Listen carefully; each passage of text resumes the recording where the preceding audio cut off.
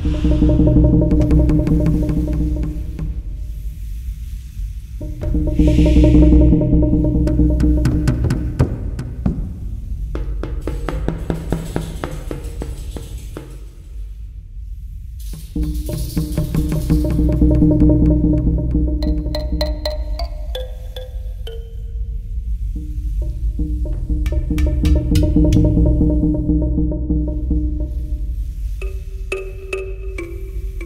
Well, this particular part of uh, the certain site is known as Trench F, and it's a very small remnant of what used to be here.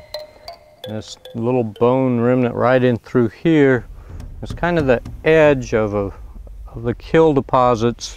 As you move up slope, you hit into the sandstone bedrock that then projects on up to within a couple of feet of the surface.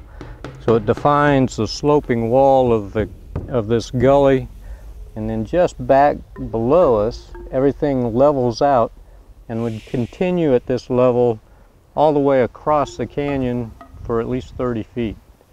So the kill deposits, I mean the bone bed itself would have extended as a complete bone bed all the way across this canyon.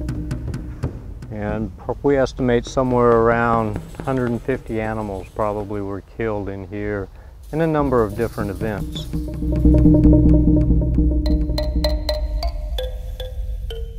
Most of what we're dealing with are bison remains. This is your modern bison. The deposits themselves are around 2,000 years old.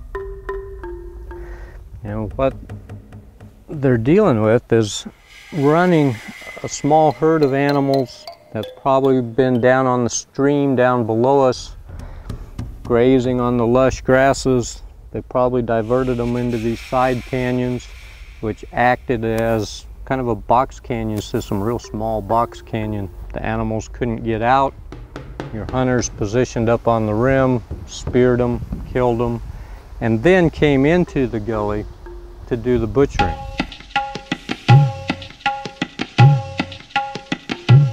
Now in this particular case, we're still uncovering it to see how many different animals are in this pile. But so far, uh, we're looking at a butchered up half, front half of an animal, rear half of an animal, uh, some butchered up legs. These are rear legs in through here, mixed in with more front leg elements. Uh, I would estimate that just this pile here probably represents at least four animals.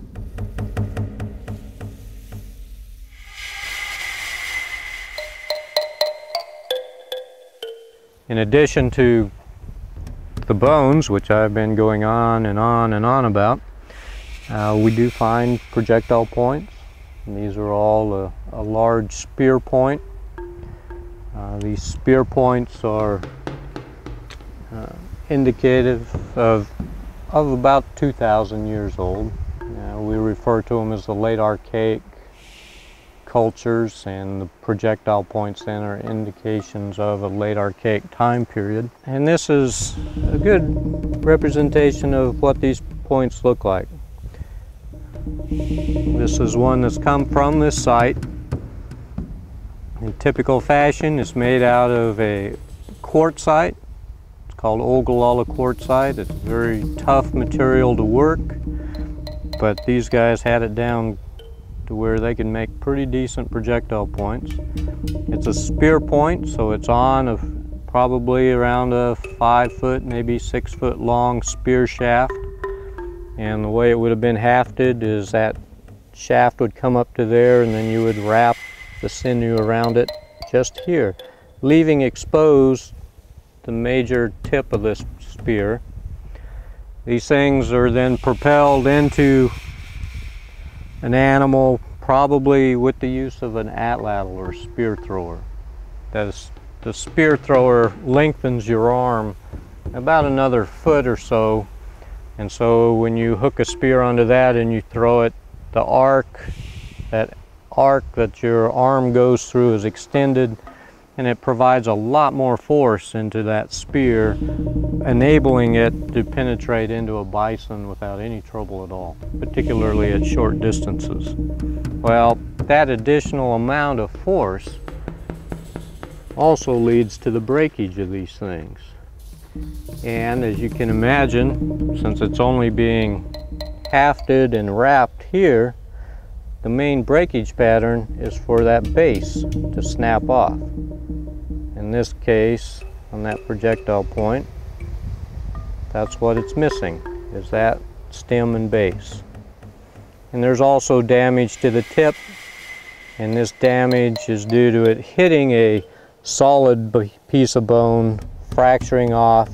That sudden jolt of, of stopping then is what allows the shaft to come down and snap over, removing that stem and base. And this is typical of the condition of the points that are found in this bone bed. This is less typical. This one being complete, they probably lost it in a gut pile. Uh, maybe Junior threw it off to the side. There's no telling. But it was nice of them to leave us a complete one. Thank you.